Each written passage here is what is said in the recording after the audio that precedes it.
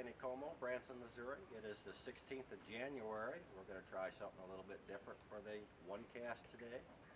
Indicator, trout magnet with two pieces of garlic flavored power bait, white and pink.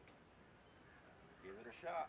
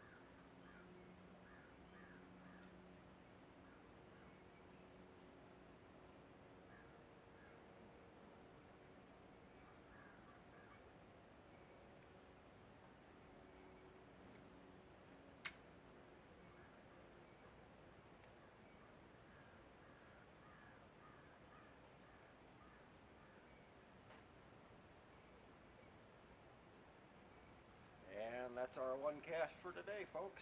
Nothing. According to record,